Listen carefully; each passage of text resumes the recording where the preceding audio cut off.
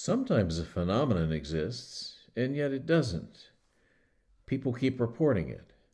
Your imagination, say researchers, who can't locate a thing. It can be animals, or flying objects, or lights, or sounds. Do they exist, or don't they?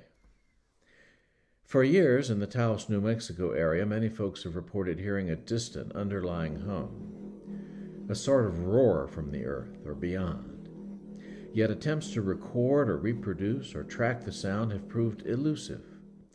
Frustrating or fascinating or deliciously mysterious, depending on your point of view.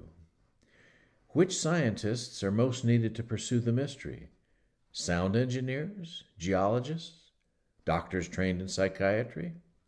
We begin our exploration of the sound that isn't, but is, the Taos hum.